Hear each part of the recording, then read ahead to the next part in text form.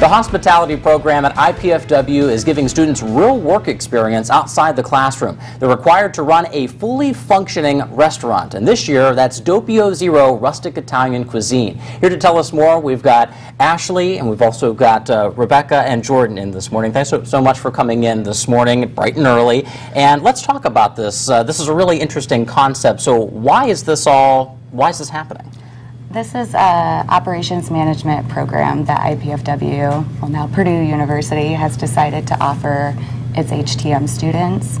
So we pretty much have to get together within five weeks and open a restaurant uh, that is our own concept, theme, menu. We have to do our own purchasing.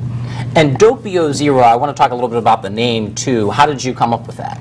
It is a double zero, which is a grade of flour we, it is run on a scale of two, one, zero, and double zero, which is the finest grade of flour. Okay. Um, Jordan and Rebecca could tell you a little bit more about the flour. They actually homemade the noodles and bread yeah. and pasta. And Jordan and Rebecca, you brought in some some cool stuff here. Yeah. Looks like what cannolis here. So what are we going to be doing this morning?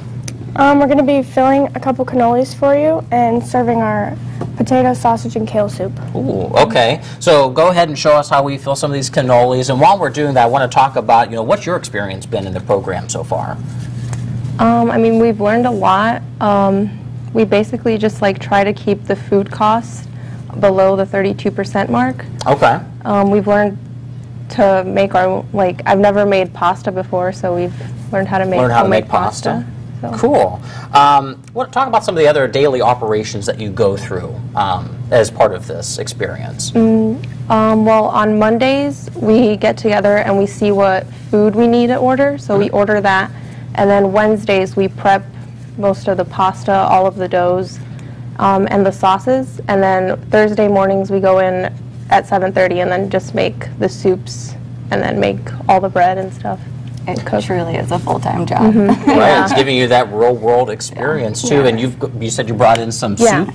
It's a creamy Italian sausage potato kale soup. Oh, okay. Mm -hmm. Do you get to come up with your own recipes, or, or how does that all work as part of this experience? Yeah, we basically just decided on the menu ourselves. Like we looked up Italian, like authentic Italian foods, and just decided. Like we, um, like the first weeks, we just cooked, decided which ones we wanted, like we tasted.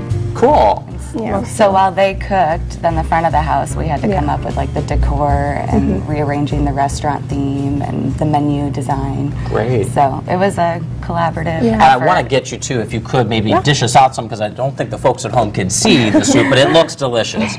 And and while you're doing that, we've got these cannolis, very artistically done. Might have to snack on those in between uh, commercials here. But if folks want to actually check out this restaurant, they can, right? Yes, it is inside the Holiday Inn off of Coliseum Road here okay. in Fort Wayne.